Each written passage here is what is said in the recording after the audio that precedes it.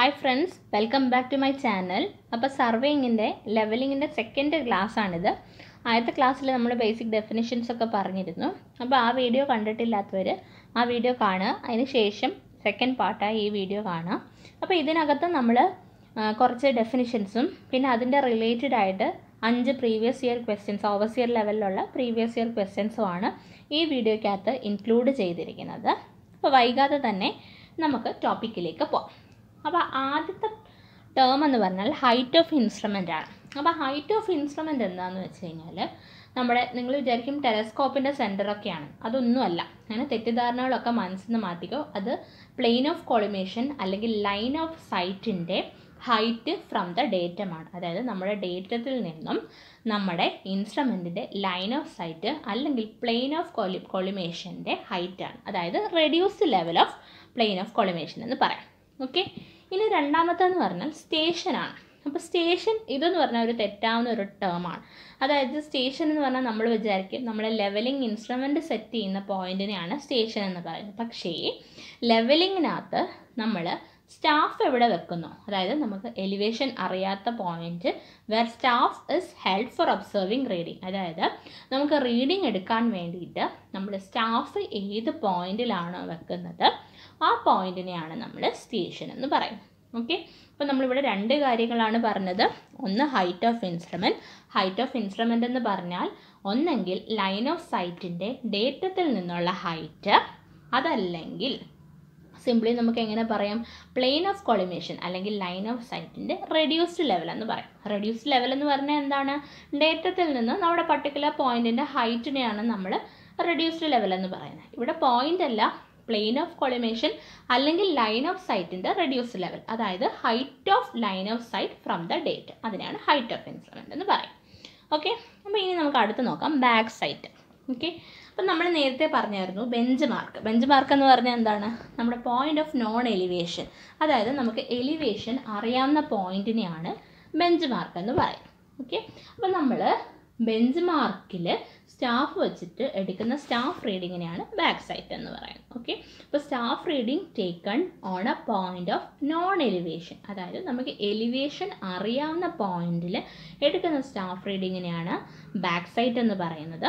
ഒരു പ്രത്യേകതയുള്ളത് it's the first reading after instrument has been set അതായത് നമ്മുടെ ലെവലിംഗ് ഇൻസ്ട്രുമെന്റ് സെറ്റ് ചെയ്തതിന് ശേഷം എടുക്കുന്ന ആദ്യത്തെ റീഡിംഗ് ആണ് എന്ത്? ബാക്ക് സൈറ്റ് ഓക്കെ അപ്പോൾ ബാക്ക് സൈറ്റ് എന്ന് പറഞ്ഞാൽ ഇൻസ്ട്രുമെന്റ് സെറ്റ് ചെയ്തതിന് ശേഷം എടുക്കുന്ന ആദ്യത്തെ റീഡിംഗ് അതുപോലെ തന്നെ taken on the point of known elevation അല്ലെങ്കിൽ ബെഞ്ച് മാർക്കിൽ എടുക്കുന്ന റീഡിംഗ് ബെഞ്ച് മാർക്ക് എന്ന് ജനറലി പറയേണ്ട പോയിന്റ് ഓഫ് നോൺ എലിവേഷനിൽ എടുക്കുന്ന സ്റ്റാഫ് റീഡിങ്ങിനെയാണ് ബാക്ക് സൈറ്റ് എന്ന് പറയുന്നത്. ഓക്കെ ഇനി ഹൈറ്റ് ഓഫ് ഇൻസ്ട്രുമെന്റ് എങ്ങനെ നമുക്ക് കണ്ടുപിടിക്കാം ഫ്രം ബാക്ക് സൈറ്റ് അതായത് ഹൈറ്റ് ഓഫ് ഇൻസ്ട്രുമെന്റ് കണ്ടുപിടിക്കുന്നത് എന്താണെന്ന് വെച്ച് കഴിഞ്ഞാൽ എങ്ങനെയാണെന്ന് വെച്ച് കഴിഞ്ഞാൽ reduced level of bench mark bench മാർക്കിന്റെ റെഡ്യൂസ്ഡ് ലെവൽ നമുക്ക് അറിയാമായിരിക്കുമല്ലോ പ്ലസ് ബാക്ക് സൈറ്റ് അതിന്റെ കൂടി ബാക്ക് സൈറ്റ് ആഡ് ചെയ്ത് കൊടുക്കുക. ഇപ്പോൾ തൽക്കാലം ഇത് ഇങ്ങനെ അറിഞ്ഞു വെക്കുക. ഞാൻ ഇനി ഹൈറ്റ് ഓഫ് ഇൻസ്ട്രുമെന്റ് മെത്തേഡിൽ പ്രോബ്ലം പഠിപ്പിക്കുമ്പോൾ ഫിഗർ വരച്ച് ക്ലിയർ ആയിട്ട് പറഞ്ഞു തരാം ഓക്കെ അപ്പം ബാക്ക് സൈറ്റ് ഇവിടെ ആഡ് ചെയ്യുകയാണല്ലോ ചെയ്തിരിക്കുന്നത്. അതുകൊണ്ട് ഇതിനെ നമ്മൾ പ്ലസ് സൈറ്റ് എന്ന് പറയും. അതായത് നമ്മൾ റെഡ്യൂസ് ലെവലിന്റെ കൂടി ആഡ് ചെയ്യുന്നത് കൊണ്ട് നമ്മൾ അതിനെ എന്ത് പറയും? പ്ലസ് സൈറ്റ് എന്നും പറയും. അപ്പോൾ ഇത്രയാണ് ബാക്ക് സൈറ്റ് ഇനി ഈ ഫിഗർ നോക്കിക്കേ.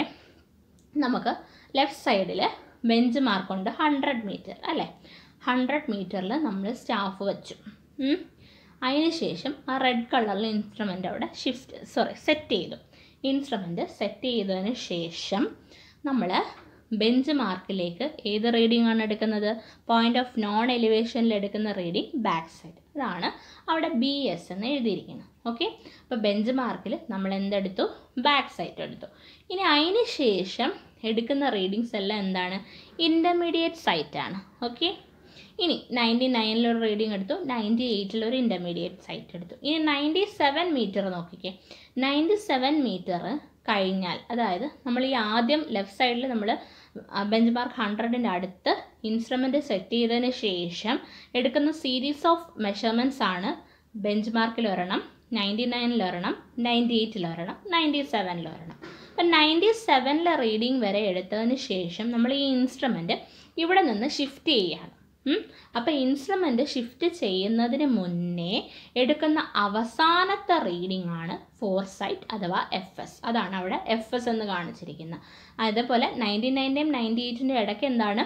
ഇന്റർമീഡിയറ്റ് സൈറ്റ് അപ്പോൾ ബാക്ക് സൈറ്റ് ആദ്യത്തെ റീഡിംഗ് ഫോർ സൈറ്റ് അവസാനത്തെ റീഡിംഗ് അതിന്റെ ഇടയ്ക്ക് ആരുണ്ട്? ഇന്റർമീഡിയറ്റ് സൈറ്റ് ഉണ്ട്. ഓക്കെ ഇനി നമ്മൾ എന്ത് ചെയ്തു? നമ്മുടെ ഇൻസ്ട്രുമെന്റ് ഷിഫ്റ്റ് ചെയ്ത് പുതിയ സ്ഥലത്ത് കൊണ്ടുവന്നു. അപ്പോൾ ഇൻസ്ട്രുമെന്റ് ഷിഫ്റ്റ് ചെയ്യുമ്പോൾ എന്ത് മാറും? ഹൈറ്റ് ഓഫ് ഇൻസ്ട്രുമെന്റ് മാറും. അല്ലേ? ഹൈറ്റ് ഓഫ് ഇൻസ്ട്രുമെന്റ് മാറിക്കൊണ്ടിരിക്കും. അതാണ് ഇവിടെ H I is equal to ninety eight metre എന്ന് കാണിച്ചിരിക്കുന്നത്. ഓക്കെ എച്ച് ഐ മാറുമെന്നുള്ളത് കാണിക്കാൻ വേണ്ടിയിട്ട്. ഓക്കെ അപ്പോൾ നമ്മൾ പിന്നെയും പുതിയ സ്ഥലത്ത് കൊണ്ടുവന്ന് ഇൻസ്ട്രുമെന്റ് സെറ്റ് ചെയ്തു. ഇൻസ്ട്രുമെന്റ് സെറ്റ് ചെയ്താൽ ഉടനെ ആരെ എടുക്കണം നമ്മൾ ഫസ്റ്റ് എടുക്കുന്ന റീഡിങ് ആരാണ്? ബാക്ക് സൈറ്റ് ആണല്ലേ? അപ്പോൾ ഫസ്റ്റ് നമ്മൾ ബാക്ക് സൈറ്റ് എടുത്തു. ഓക്കെ അപ്പോൾ ഈ നയന്റി സെവൻ മീറ്റർ എന്ന് പറയുന്ന ആ പോയിന്റിന്റെ പ്രത്യേകത നോക്കിക്കേ. അവിടെ നമ്മൾ എന്ത് ചെയ്തു? ആദ്യത്തെ ഇൻസ്ട്രുമെന്റ് സെറ്റപ്പിൽ ഏറ്റവും അവസാനത്തെ റീഡിംഗ് ആയ ഫോർ സൈറ്റും എടുത്തു. പുതിയ ഇൻസ്ട്രുമെന്റ് സെറ്റിങ്ങിലെ ആദ്യത്തെ റീഡിംഗ് ആയ ബാക്ക് സൈറ്റും എടുത്തു. അല്ലേ? അപ്പം നമുക്ക് ഈ നയന്റി സെവൻ മീറ്റർ ഇരിക്കുന്ന പോയിന്റിൽ എന്ത് രണ്ട് റീഡിങ്സ് ഉണ്ട്? ഫോർ സൈറ്റും ഉണ്ട് ബാക്ക് സൈറ്റും ഉണ്ട്. അങ്ങനെ ഫോർ സൈറ്റും ബാക്ക് സൈറ്റും ഒരുമിച്ച് എടുക്കുന്ന അതായത് രണ്ടും എടുക്കുന്ന പോയിന്റിനെ പറയുന്ന പേരാണ് change point. Okay change point is point where we are taking back sight as well as fore sight അപ്പോൾ ഇതിന്റെ ഡെഫിനിഷൻസ് ഒക്കെ വരും സ്ലൈഡിൽ നമുക്ക് പറയാം. അതിന് മുന്നേ ഫിഗർ വെച്ചൊന്ന് പറയാം അപ്പോൾ ആദ്യം നമുക്ക് ബെഞ്ച് മാർക്ക് ഉണ്ടായിരുന്നു. അവിടെ നമ്മൾ ബാക്ക് സൈറ്റ് എടുത്തു അതിനുശേഷം നയന്റി സെവൻ വരെ നമ്മൾ റീഡിംഗ് എടുക്കുന്നുണ്ട്.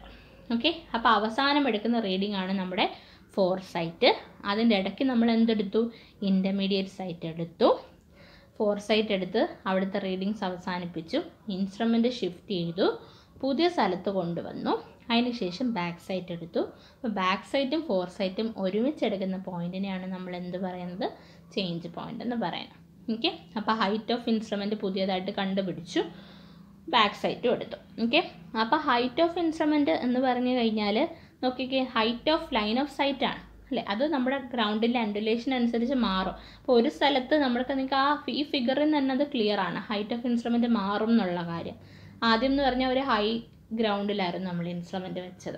അതിനുശേഷം ഒരു ലോ ഗ്രൗണ്ടിൽ വന്നു അല്ലേ? അപ്പോൾ അതിന്റേതായ വ്യത്യാസം നമ്മുടെ ഹൈറ്റ് ഓഫ് അതായത് ലൈൻ ഓഫ് സൈറ്റും ഡേറ്റവും തമ്മിലുള്ള ആ ഒരു എലിവേഷനിൽ വരും. അപ്പോൾ അതുകൊണ്ട് തന്നെ ഹൈറ്റ് ഓഫ് ഇൻസ്ട്രുമെന്റ് മാറും. ഇതൊക്കെ നിങ്ങൾക്ക് അറിയാവുന്ന കാര്യങ്ങളായിരിക്കും. എന്നാലും പറഞ്ഞു എന്ന് മാത്രം. അപ്പോൾ ഈ ഫിഗർ വെച്ചിട്ട് നമ്മൾ എന്തൊക്കെ പറഞ്ഞു? ബാക്ക് സൈറ്റ് ഓൾറെഡി നമ്മൾ എക്സ്പ്ലെയിൻ ചെയ്തതാണ്. ഫോർ സൈറ്റ് പറഞ്ഞു ഇന്റർമീഡിയറ്റ് സൈറ്റ് പറഞ്ഞു ചേഞ്ച് പോയിന്റ് പറഞ്ഞു. ഓക്കെ അപ്പോൾ ഇത്രയും കാര്യങ്ങളാണ് ഇനി വരുന്ന സ്ലൈഡ്സിൽ ഞാൻ എക്സ്പ്ലെയിൻ ചെയ്യുന്നത്. അപ്പോൾ ഈ ഫിഗർ ക്ലിയർ ആയെന്ന് വിചാരിക്കുന്നു. അപ്പോൾ ഈ ഫിഗറിനകത്ത് ഓരോന്ന് ഈ hundred metre ninety nine metre അതൊക്കെ ഒരു പോയിന്റ്സ് എ ബി സി എന്ന് പറഞ്ഞ് നിങ്ങൾക്ക് പോയിന്റ്സ് ആയിട്ട് സ്പെസിഫൈ ചെയ്യാം. ഞാൻ ഇവിടെ ജസ്റ്റ് അത്രയും കാണിച്ചു എന്ന് മാത്രം. ഓക്കെ അപ്പോൾ ഇതിനകത്ത് നമുക്കിനി പറയാനുള്ള ഡെഫിനിഷൻസ് എന്ന് പറഞ്ഞാൽ ചേഞ്ച് പോയിന്റ് വരും ഫോർ സൈറ്റ് വരും ഇന്റർമീഡിയറ്റ് സൈറ്റ് വരും. ഓക്കെ അപ്പോൾ ഫോർ സൈറ്റ് എന്ന് പറയുന്നത് എവിടെ എടുക്കുന്ന റീഡിംഗ് ആണ്? നമ്മൾ ഇൻസ്ട്രുമെന്റ് സെറ്റപ്പിൽ ഏറ്റവും അവസാനം എടുക്കുന്ന റീഡിംഗ് ആണ് ഫോർ സൈറ്റ് ഓക്കെ ഇന്റർമീഡിയറ്റ് ഇടയ്ക്ക് ഫോർ സൈറ്റിന്റെയും ബാക്ക് സൈറ്റിന്റെയും ഇടയ്ക്ക് എടുക്കുന്നത്. ഓക്കെ ഇനി നമുക്ക് അടുത്തത് ഫോർ സൈറ്റ് എന്താണെന്ന് നോക്കാം. നേരത്തെ ഞാൻ പറഞ്ഞല്ലോ reading taken on the last point of survey or on change point last point of survey എന്ന് പറയാൻ കാര്യം എന്ന് വെച്ച് കഴിഞ്ഞാൽ ചിലപ്പം ആ പോയിന്റ് കൊണ്ട് സർവേ വർക്ക് നമ്മുടെ അവിടെ നിന്ന് തീരാം. അപ്പോൾ നമ്മൾ ഏറ്റവും അവസാനം അതായത് ലാസ്റ്റ് പോയിന്റ് ഓഫ് സർവേ സർവേയുടെ ഏറ്റവും അവസാനത്തെ പോയിന്റിൽ എടുക്കുന്ന റീഡിംഗ് ആകാം. അതല്ലെങ്കിൽ ചേഞ്ച് പോയിന്റിൽ എടുക്കുന്ന റീഡിംഗ് ആണ് ചേഞ്ച് പോയിന്റ് എന്ന് പറഞ്ഞാൽ എന്താണ്? അവിടെ നിന്ന് നമ്മൾ ഇൻസ്ട്രുമെന്റ് ഷിഫ്റ്റ് ചെയ്യുകയാണ് അല്ലേ? ആ ഇൻസ്ട്രുമെന്റ് ഷിഫ്റ്റ് ചെയ്യുന്ന പോയിന്റിനെയാണല്ലോ ചേഞ്ച് പോയിന്റ് എന്ന് പറയുന്നത്.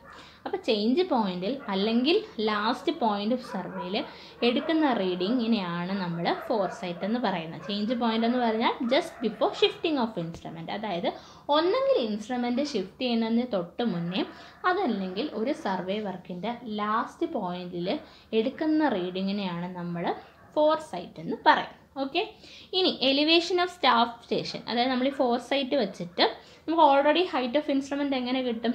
Reduce level of bench mark plus back sight ചെയ്താൽ ഹൈറ്റ് ഓഫ് ഇൻസ്ട്രുമെന്റ് കിട്ടും. ഈ ഹൈറ്റ് ഓഫ് ഇൻസ്ട്രുമെന്റിൽ നിന്നും ഫോർ സൈറ്റ് മൈനസ് ചെയ്താലാണ് നമുക്ക് എലിവേഷൻ ഓഫ് സ്റ്റാഫ് സ്റ്റേഷൻ കിട്ടുന്നത്. അപ്പോൾ ഇതൊക്കെ പ്രോബ്ലം ചെയ്യുമ്പോൾ നിങ്ങൾക്ക് കൺസെപ്റ്റ് ക്ലിയർ ആയിക്കോളും.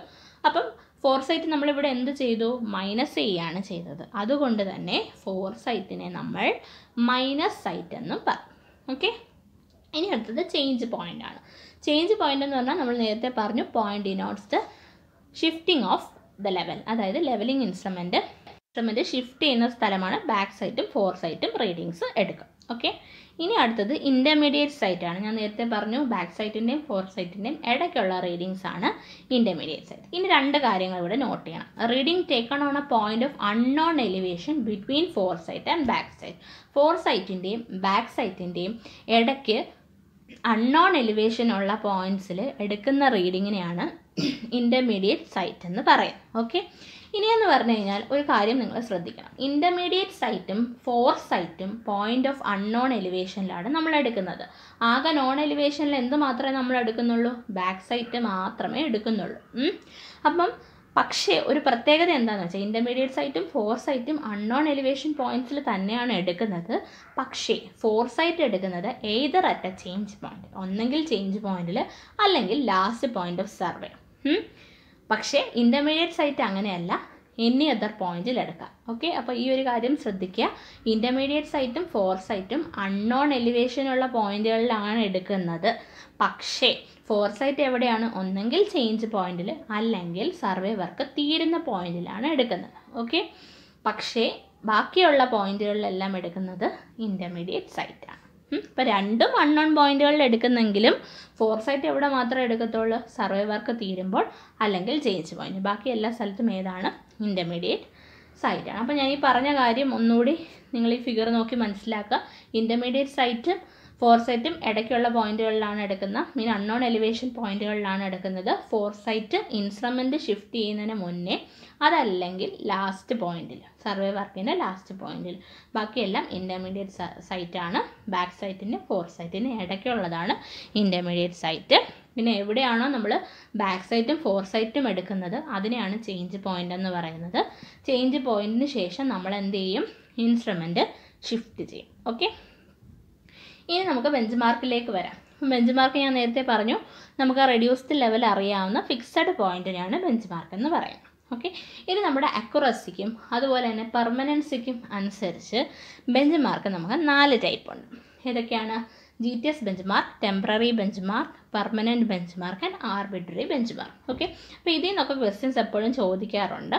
അപ്പോൾ അതൊക്കെ ഒന്ന് ജസ്റ്റ് ഒന്ന് നോക്കി വെക്കാം. അതൊക്കെ സിമ്പിളായിട്ട് നമ്മൾ വിടാം. പക്ഷേ എന്നാലും ഒന്ന് വായിച്ച് വെക്കാം.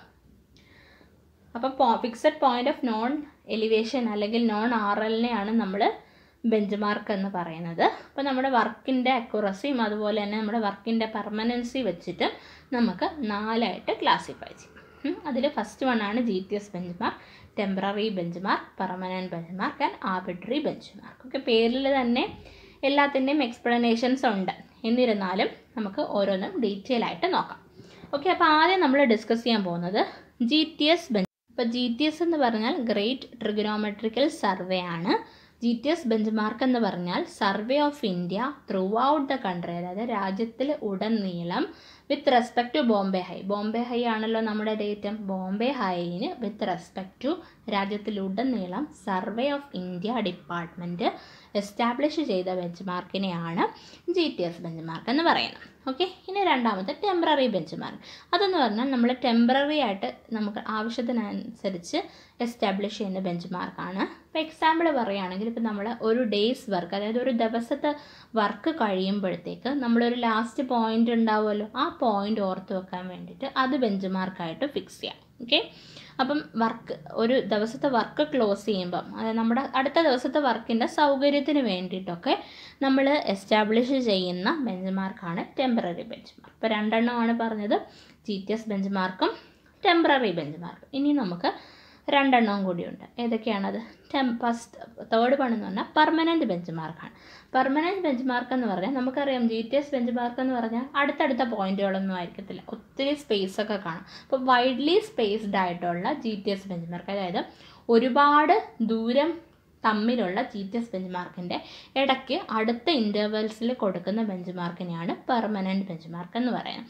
They are established at close intervals between widely space G T S bench mark ഇനി ആർബിട്രറി ബെഞ്ച് മാർക്ക് എന്ന് പറഞ്ഞാൽ നമുക്ക് മീൻ സീ ലെവലൊന്നും വെച്ചിട്ട് പറയുന്നതല്ല. നമ്മൾ ചെറിയ സർവേ വർക്കിന് വേണ്ടിയിട്ട് നമ്മൾ ആർബിറ്ററി ആയിട്ട് ഫിക്സ് ചെയ്ത് കൊടുക്കുന്നതാണ് arbitrary bench mark for example നമ്മുടെ ലാബിലെ വർക്കിലൊക്കെ നമ്മൾ ഏതെങ്കിലും ഒരു പോയിന്റ് എടുത്തിട്ട് ബെഞ്ച് മാർക്കാണ് റെഡ്യൂസ്ഡ് ലെവൽ ഹൺഡ്രഡ് ആണെന്ന് പറഞ്ഞൊക്കെ ചെയ്യത്തില്ലേ? അപ്പോൾ അതൊക്കെയാണ് ആർബിറ്ററി ബെഞ്ച് മാർക്ക് അപ്പോൾ നമുക്ക് ഇനി ക്വസ്റ്റ്യൻസിലേക്ക് പോകാം ആദ്യത്തെ question the height of instrument and the reduced level of a point its fore sight reading is 1.845 meter and backside reading on a benchmark of reduced level 250 is 2.985 meter r. അപ്പോൾ നമുക്ക് ഇവിടെ height of ഇൻസ്ട്രുമെന്റും reduced ലെവലും കണ്ടുപിടിക്കണം. അപ്പോൾ reduced level ഇവിടെ നിന്നോട്ടെ. Reduced level ഞാൻ problems പഠിപ്പിച്ച് കഴിഞ്ഞിട്ട് നമുക്ക് ചെയ്യാം. അപ്പോൾ ഇതിന് ഇതേ സെയിം ക്വസ്റ്റ്യൻ നമുക്ക് അപ്പം ഡിസ്കസ് ചെയ്യാം. അപ്പോൾ ഇവിടെ ഹൈറ്റ് ഓഫ് ഇൻസ്ട്രുമെന്റ് മാത്രം കണ്ടുപിടിക്കാം. ഹൈറ്റ് ഓഫ് ഇൻസ്ട്രുമെന്റ് എങ്ങനെയാണ് കണ്ടുപിടിക്കുന്നത്? Reduced level of bench mark plus back side ഇവിടെ എത്രയാണ് reduced level of bench mark two fifty back side reading എത്രയാണ് തന്നിരിക്കുന്നത്? Two point nine eight five പിന്നെ ഒരു ഫോർ സൈഡ് റീഡിങ്ങോ തന്നിരിക്കുന്നത് അല്ലേ? അപ്പം ടു ഫിഫ്റ്റിയുടെ കൂടെ two point nine eight five add ചെയ്ത് കൊടുത്താൽ നമുക്ക് എന്ത് കിട്ടും? Two fifty two point nine eight five എന്ന് കിട്ടും. ഓക്കെ അപ്പോൾ അതാണ് നമ്മുടെ എന്ത് height of instrument reduce level problem കൂടി പറഞ്ഞിട്ട് അതിനകത്ത് ഞാൻ ഇതേ പ്രോബ്ലം തന്നെ എക്സ്പ്ലെയിൻ ചെയ്തു തരാം. അല്ലാതെ ഇപ്പോൾ ചെയ്യാൻ അറിയാവുന്നവർക്ക് ചെയ്ത് നോക്കിയിട്ട് കിട്ടുന്നുണ്ടോ എന്ന് നോക്കിക്കാം. ഓക്കെ സിമ്പിൾ ക്വസ്റ്റ്യൻ ആണ്. അപ്പോൾ എന്നാലും നമുക്ക് ഒന്നുകൂടെ ഡിസ്കസ് ചെയ്യാം. അടുത്ത ക്വസ്റ്റ്യൻ നോക്കാം. Which of the following bench mark is established with high precision high പ്രസിഷനോട് കൂടി എസ്റ്റാബ്ലിഷ് ചെയ്യുന്ന bench mark ഏതാണെന്നാണ്? Permanent G T S temporary bench mark ഏതാണ് ആൻസർ വരുന്നത്? ഓപ്ഷൻ ബി ആണ്. ജി ടി എസ് ബെഞ്ച് മാർക്കാണല്ലോ നമ്മുടെ നമ്മുടെ survey of survey of India department ഒക്കെ establish ചെയ്യുന്നതായതുകൊണ്ട് തന്നെ അത് വളരെ ഹൈ പ്രസിഷനോട് കൂടിയായിരിക്കും. ആൻസർ ബി ആണ്. ഇനി അടുത്ത question which one is in the following the does not have the object of levelling to fix bench mark to find the profile of road indirect ranging to show contour അപ്പോൾ നമ്മുടെ ലെവലിങ്ങിന്റെ objective അല്ലാത്ത ഏതാണെന്നാണ് question അപ്പോൾ നമുക്കിവിടെ അറിയാം option C simple question ആണ്. Indirect ranging ആണ്. Chain സർവേയിലാണ് indirect ranging വരുന്നത്. ബാക്കിയെല്ലാം ലെവലിങ്ങിന്റെ ഒബ്ജക്റ്റീവ്സ് ആയിട്ട് പറയാം. ഓക്കെ സിമ്പിൾ ക്വസ്റ്റ്യൻ ആണ്. ഇനി അതിന്റെ അടുത്ത ക്വസ്റ്റ്യൻ അതിലും വളരെ സിമ്പിൾ ക്വസ്റ്റ്യൻ ആണ്. Fixed point of reference of known elevation elevation അറിയാവുന്ന ഫിക്സഡ് പോയിന്റിന് നമ്മൾ എന്ത് പറയും? ഓപ്ഷൻ സി ബെഞ്ച് മാർക്കാണ് കറക്റ്റ് ആൻസർ ഇത് സിമ്പിളായിട്ടുള്ള ക്വസ്റ്റ്യൻ ആണ്. എല്ലാവർക്കും സിമ്പിളായിട്ട് ഉത്തരം എഴുതാൻ പറ്റുന്ന ക്വസ്റ്റ്യൻ ആണ്. ലെവലിങ്ങിന്റെ ഗുണം അതാണ്. ഒരുപാട് സിമ്പിൾ ക്വസ്റ്റ്യൻസ് നമുക്ക് കിട്ടും. അടുത്ത ക്വസ്റ്റ്യൻ നോക്കാം. The term height of instrument in levelling is height of instrument എന്ന് പറഞ്ഞാൽ എന്താണ്? ഞാൻ ഫസ്റ്റ് തന്നെ പറഞ്ഞായിരുന്നു. ഹൈറ്റ് ഓഫ് ഇൻസ്ട്രുമെന്റ് എന്ന് പറഞ്ഞാൽ ലൈൻ ഓഫ് സൈറ്റിന്റെ എലിവേഷനാണ് with respect to datum option B ആണ് കറക്റ്റ് ആൻസർ ഇവിടെ a height of instrument above the station പോയിന്റും elevation of the instruments axis about the staff station അത് രണ്ടും പൊട്ടത്തരമാണ്. അതുകൊണ്ട് അത് രണ്ടും നിങ്ങൾക്ക് തിരിഞ്ഞു പോകത്തില്ല. പക്ഷേ ബിയും സിയും തമ്മിൽ കൺഫ്യൂഷൻ വരാം. With respect to mean C ലെവലല്ല with respect to ഡേറ്റമാണ് ഓപ്ഷൻ ബി ആണ് കറക്റ്റ് ആൻസർ അപ്പോൾ ഈ വീഡിയോ നിങ്ങൾക്ക് ഇഷ്ടപ്പെട്ടിട്ടുണ്ടെങ്കിൽ please like share and subscribe and thanks for watching